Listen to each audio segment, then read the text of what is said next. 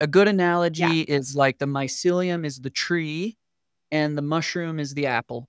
Eh. So you're not going to you're not going to hurt the tree by picking the apple, but the tree needs the apple to reproduce.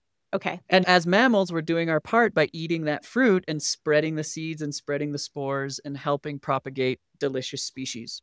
So we, we take the mushroom, we dry it. That's generally the first step in the extraction process. We dry it and then we powder it. And then we run it through different processes in order to target different compounds.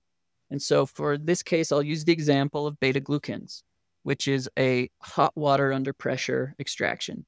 So we literally pressure cook the mushroom powder. And then after different species for different lengths of time and temperatures, and then we evaporate the water and we're left with this residue powder. And that's the extract.